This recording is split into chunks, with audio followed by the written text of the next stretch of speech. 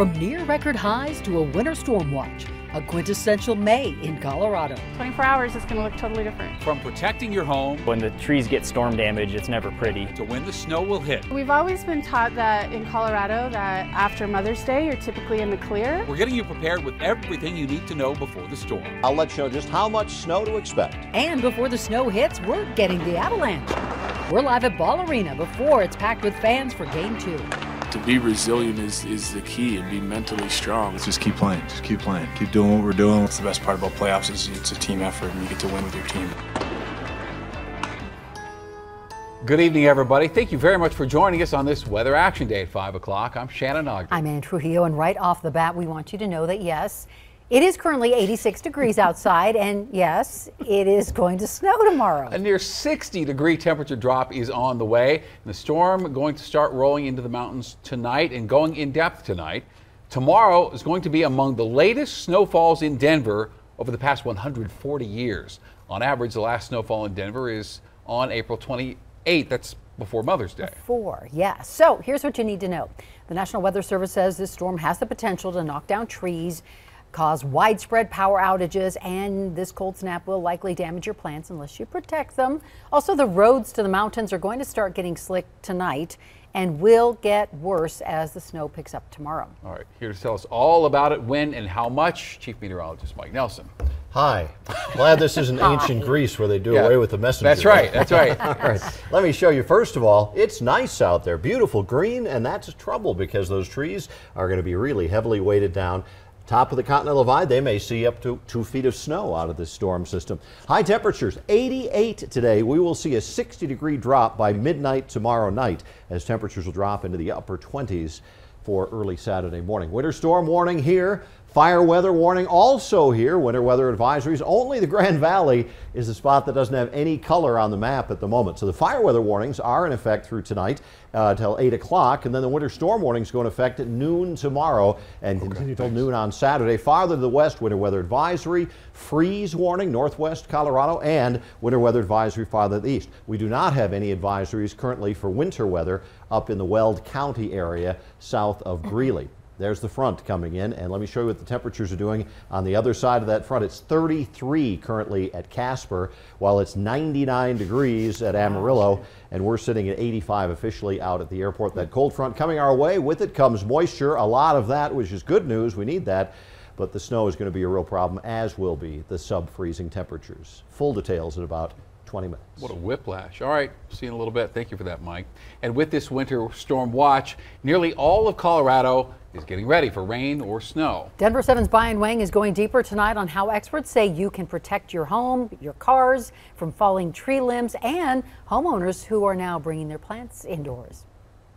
Hey guys, there's a notion in Colorado that after Mother's Day passes, folks can feel comfortable planting their spring gardens. But with the heavy rain and snow that we're expecting, it certainly has people thinking about how they will adjust to save their plants and trees. For delicate flowers like these in this Capitol Hill neighborhood, some say they're going to do their best setting up tarps over them.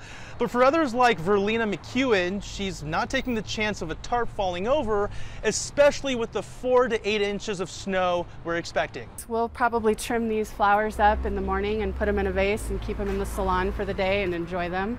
Um, and they probably won't bloom again. These, especially the iris, won't bloom again. So the lesson is stay present, right? Yeah. Stay present, enjoy it while it's here. Now, protecting your trees gets a little trickier. It largely depends on the size. Arborist Michael Sundberg says if it's a relatively small or mid-sized tree, there are ways you can prevent breakage from happening. But on a tree like this size, I mean, with like a, a long broomstick or something, you can do a pretty good job shaking off excessive weight or even shaking the, tr- the trunk of the tree enough to drop snow off. And so that can help preserve not having breakage.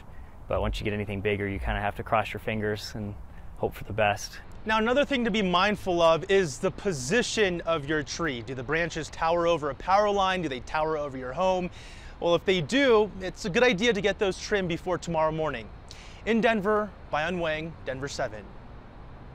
If you have any big plans for tomorrow or quite possibly Saturday, um, your plans might get canceled. We are getting emails into the newsroom from high schools all over the metro that are either postponing or moving graduation ceremonies indoors. And so far, the state track meet is on. Also, concerts like the Global Dub Fest at Red Rocks this Saturday, that's already canceled.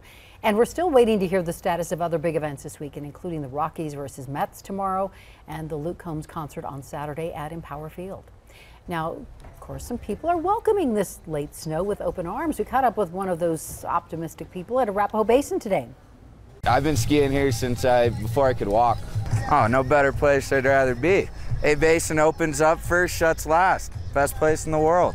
Yeah, I'm gonna be here all weekend. I already took work off. There you go. So for now, A Basin still expected to close in about two and a half weeks on June 5th.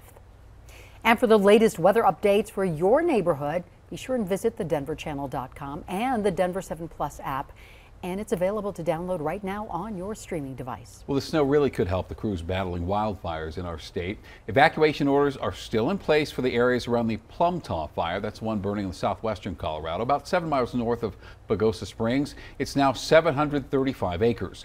Also, the High Park fire near Cripple Creek 87% contained at this hour. The wildfire that sparked along the entrance to the Great Sand Dunes National Park is 100% contained as of tonight. The remains of a mother missing in Longmont for more than four years have now been found. Rita Gutierrez Garcia went missing in March of 2018 after a night out with friends. Her remains were found in a remote Longmont field, and prosecutors say the man charged with her kidnapping and murder will plead guilty. He's already serving a sentence of 93 years to life in prison for a separate attempted murder and sex assault case. An Adams County Sheriff's Department sergeant has been charged in the death of his three year old daughter.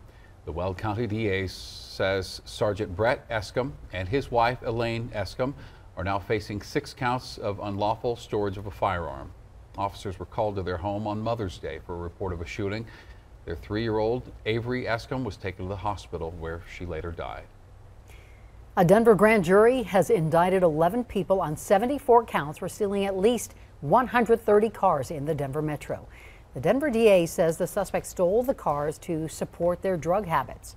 All 11 are believed to have stolen more than $3 million worth of vehicles and other property. CDC advisors are now recommending Pfizer vaccine boosters for 5 to 11 year olds. So kids will be eligible once the CDC director signs off.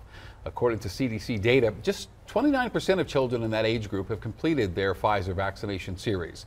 Since the pandemic began, more than 4.8 million children of that age have caught COVID, more than 15,000 hospitalized. And Colorado health officials are monitoring a slight uptick in COVID 19 cases and hospitalizations. Today, the state extended the mask order for all healthcare facilities and places like jails and homeless shelters. Health officials say today we are averaging about 1,500 cases per day. Yet that is still lower compared to previous waves. And doctors are reminding people to get tested for COVID 19 if you're feeling sick. And high risk people should consider wearing masks if cases continue to rise.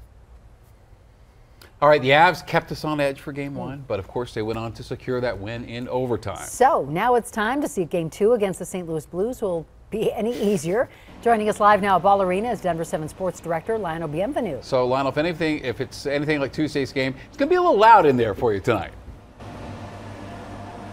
What was that, Shannon?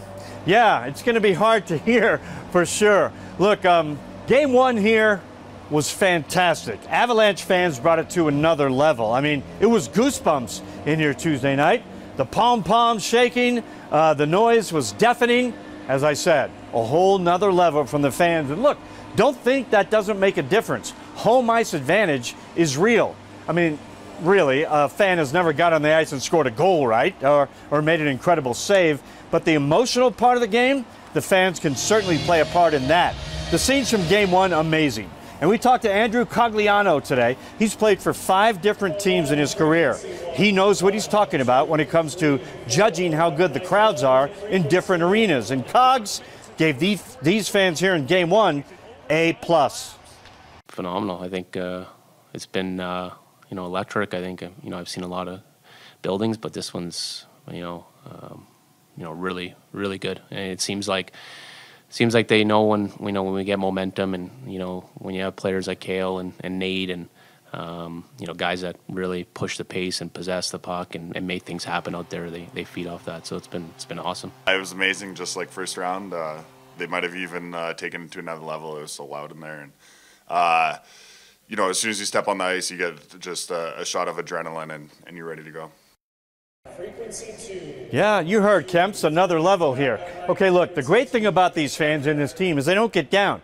Even when the Blues scored the first goal in game one, fans were still as loud as they were from the beginning, and the team didn't stop either. Jared Bednar says that's what make this team, uh, that makes this team different and special. They don't get down, they keep playing no matter what. Resilience and confidence. That's what this team is all about. Can't wait for game two tonight, 7:30. We'll be back with more at 6.